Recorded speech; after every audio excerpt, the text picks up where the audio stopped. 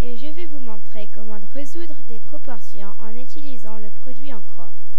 Alors notre problème c'est 4 sixièmes égale x sur 9. Alors la première chose qu'on fait, c'est on multiplie 4 par 9, qui est égal à 36. Après, on multiplie 6 par x, qui est égal à 6x.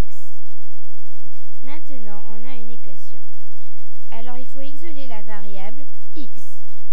fait l'opposé de 6x, qui est 6x divisé par 6. Et on le fait des deux côtés de l'équation pour l'équilibrer. Alors 36 divisé par 6 égale 6. Et 6x divisé par 6 égale x. Donc, x égale 6. Merci. Au revoir.